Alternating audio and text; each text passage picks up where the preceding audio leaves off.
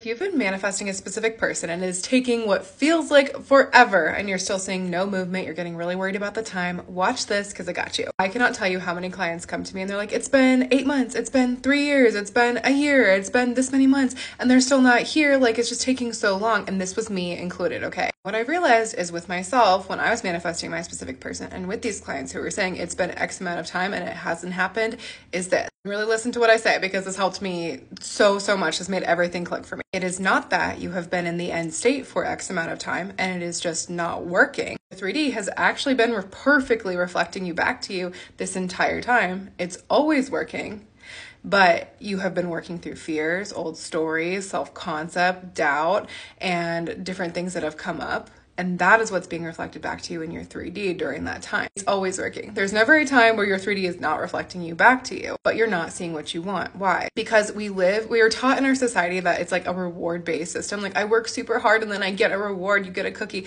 That's not how the universe works. Your 3D does not go, oh, you've been working super hard and you really want SP, here's a cookie.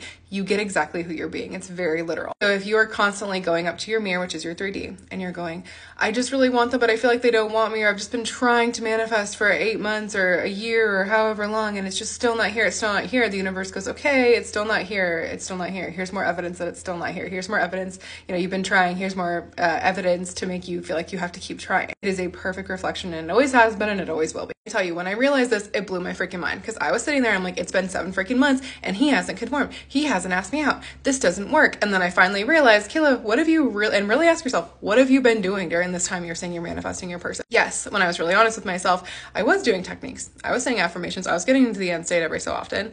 But if I'm being totally honest with myself, which we kind of have to be, because you can lie in your mind, like, no, I've been in the end state the whole time, but your 3D isn't going to lie. It's going to show you who you're being. I was really honest with myself and I was like, yeah, I'm getting into the end state sometimes, but like the majority of the day, I'm like hoping he's gonna reach out. I'm like wondering if it's working. I'm like, oh my God, I just wish he would reach out to me. Or like I'd be posting for his attention, like checking to see if he saw it. I really wasn't in the end state for the seven months. I was really like maybe getting into the end state here and there.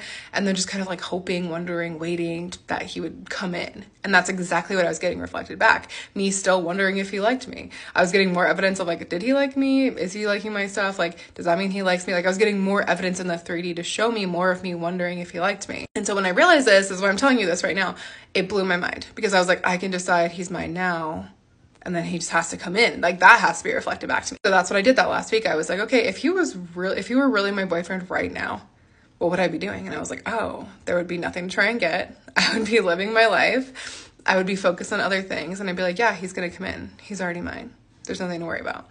Um, and then whenever my mind wandered or wavered off, I'd be like, no. And I really got a hold of my mind and I'd be like, no, he wants me and only me.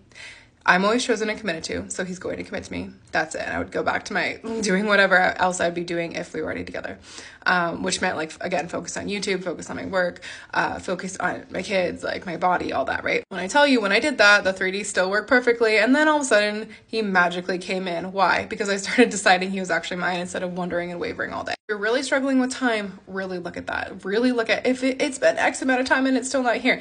I'm telling you, I know people always comment and be like, yeah, but no, I've been in the end. If you're commenting how how long it's been, you're not in the end. Bottom line, when I was in the end, I would ask myself with every single action, I was like, would I do this if I were in the end? I'd be like, nope, because he's already mine and I would let it go.